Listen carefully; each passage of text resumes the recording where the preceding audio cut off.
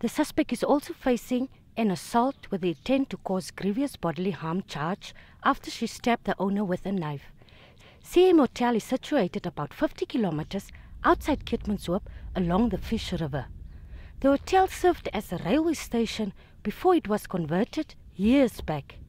Police also impounded a vehicle allegedly owned by the suspect, which was parked near the hotel. The hotel owner, Zir Kloppers, told NBC News that the first blaze was noticed on Saturday evening in one of the hotel rooms. We were very um, confused. Why? What had started the fire? We could not find any reason. There were no people in that room, and we were confused why the fire would just start for nothing.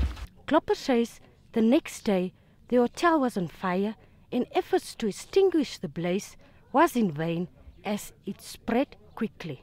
Asked what the estimated cost for the damages were, Klopper had this to say. Furniture alone must be hundreds and hundreds because all solid solid wood furniture, solid wood furniture, and in many rooms that are burnt, and there's machines that were burnt, and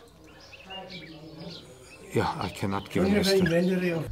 The accused will appear in the Keetmanshoop Magistrate Court on Wednesday.